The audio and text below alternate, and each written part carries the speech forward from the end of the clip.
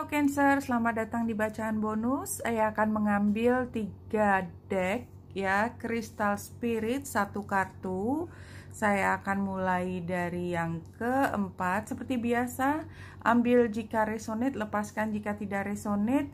Cancer, informasi yang keluar adalah Citrid. Ini nama kristalnya joyful, expressiveness, exuberance, and happiness, letting go of any and all negativity. Iya, di sini Cancer diminta untuk be happy, be happy, be happy, be happy. Oke, okay. itu. Uh, kemudian kita ambil yang kedua dengan menggunakan Animal Tarot Cards. Kita lihat ceritanya sedikit, seberapa jauh dia nyambung dengan kehidupanmu satu dua tiga. Ya ini tiga kartu. Seperti biasa kita lihat kartu yang pertama. Oke okay, yang warnanya ungu adalah major arcana balance. Balance. Be merging varying varying points of view. You can generate an extraordinary new ID compromise with others and collaborate to discover a better solution.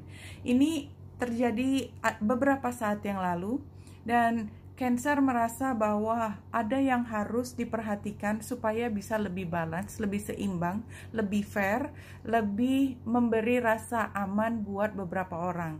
Dan barangkali sekarang masih diupayakan. Current situationnya adalah the world. This is very cute. Ini anjing kolinya ini Congratulations on successful accomplishing what you set out to do. You've made it through the challenges and incorporated the lessons life offered you with grace and courage. Ya, uh, sepertinya jelas, cepat atau lambat dan mungkin untuk banyak cancer sudah merasakan bahwa ketekunan di masa lalu membuahkan keberhasilan dan pantas mendapatkan pujian. Kita lihat ke depannya adalah Nine of Summer ya. Uh, now's the time when your dreams come true. Don't worry about how this will happen. Just give gratitude to God for all that you have and all that's still yet to come. Jadi dua kartu ini sekarang sudah pantas mendapatkan satu pujian.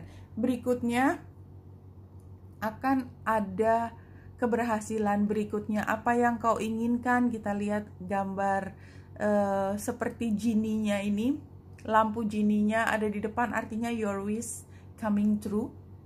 Your wish is coming true Uh, barangkali sekarang belum jelas bagaimana caranya datang atau dari mana, tapi percayalah bahwa itu akan datang kemudian.